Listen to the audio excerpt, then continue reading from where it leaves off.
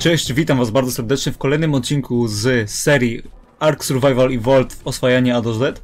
W tym odcinku będziemy oswajać Hienodona.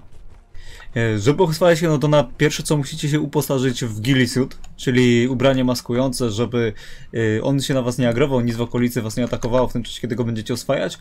Jak to wygląda? Nie potrzebujecie żadnych kibli, żadnego mięsa, kompletnie nic, bo Hienodona oswaja się głaskając go. Po prostu na kucaka podchodzicie do niego, głaszczecie go i czekacie 30 sekund, żeby pogłaskać go znowu. Pamiętajcie, że w ciągu tych 30 sekund musicie go pogłaskać, bo jeśli tego nie zrobicie, on zacznie tracić e, skuteczność oswajania i zacznie stracić e, poziom oswajania. Czego chcielibyście uniknąć w każdym razie, jeśli chcecie mieć te hienodony silne. Jeśli nie chcecie e, hienodonów do walki czy do wykorzystania, możecie po prostu się tym bawić i nie przejmować niczym. One są raczej jako takie pupile do bazy. Chociaż na PvE mogą się przydawać do obrony waszej bazy przed rajdami. Oswajacie sobie masę takich hienodonów, stawiacie ich wokół bazy na agresywnym i one są bardzo łatwo w stanie bardzo szybko zareagować. One też mają bardzo duży damage, jak na takie małe stworzenia, jeśli chodzi e, o to, kiedy są w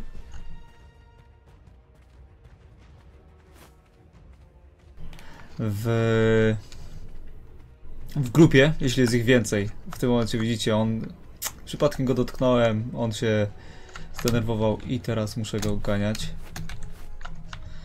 Aj. No i to jest właśnie tak upierdliwe to oswajanie tych jednodonów. Więc widzimy się po flashu. Ja za ten czas będę tutaj za nim kroczył, będę go głaskał. No i do zobaczenia po flashu. Dobra, hej, jesteśmy po flashu. Właśnie kończę tutaj łazić za tym pieskiem, głaskać. Teraz ostatnie 7 sekund i mamy Hienodona oswojonego. Przed rozpoczęciem oswajania przede wszystkim musicie pozbyć się y, pozostałych Hienodonów, które są w okolicy. Ponieważ y, jeśli on jest w grupie, on będzie was atakował o wiele częściej, one będą do was podchodzić, będziecie o wiele bardziej ryzykować tym, że on zacznie wam uciekać, że się spłoszy. Oraz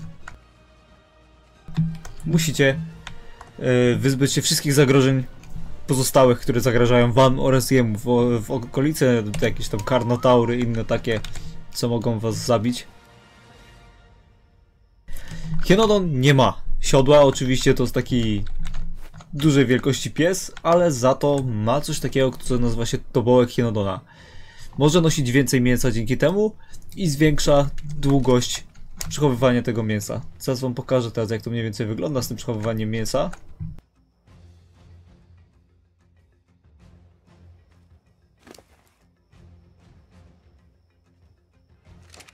I lecimy do Hienodona. Zobaczcie, w moim ekwipunku te mięso ma termin ważności 4 minuty. Wrzucimy je Hienodonowi do ekwipunku i u niego w ekwipunku nie dość, że to mięso waży mniej, bo widzicie u mnie waży 2 kg, u niego tylko 0,8, to jeszcze u niego będzie się trzymało 34 minuty. To nie jest dwa razy więcej, to nie jest 4 razy więcej, to jest 8 razy dłużej. Te mięso będzie się trzymało u niego w ekwipunku niż w moim ekwipunku całkiem, całkiem sporo.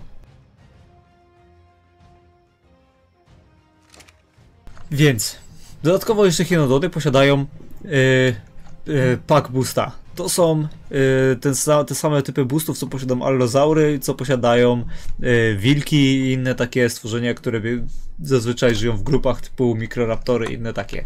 Więc grupa takich 6 do 8 nawet y, hienodonów bez problemu jest w stanie powadzić Bronto na 150 poziomie. Jeśli macie je takie dość silne, macie na nich tobołki, to, to one są, są dość potężne, takie bestyjki. No a poza tym ładne pieski do trzymania w bazie. Tak naprawdę to tyle o hienodonach. Banalny sposób oswajania, troszkę upierdliwe, ale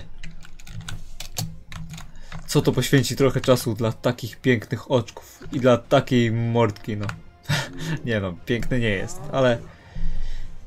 No to tyle. Dziękuję za oglądanie i zapraszam Was do kolejnych odcinków. Hej, hej!